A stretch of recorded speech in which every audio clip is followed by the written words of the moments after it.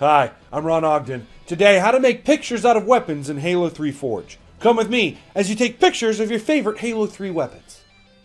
Taking pictures of your favorite weapons requires the use of Forge mode and Theater. In Forge mode, create any map and place your favorite weapons on the ground, rotating them to lay flat. Once your weapons are placed, leave the game and move to Theater mode. Once you've loaded your Forge game into Theater mode, move around and take pictures of your weapons with the Screenshot button. You can then save the pictures of your favorite weapons.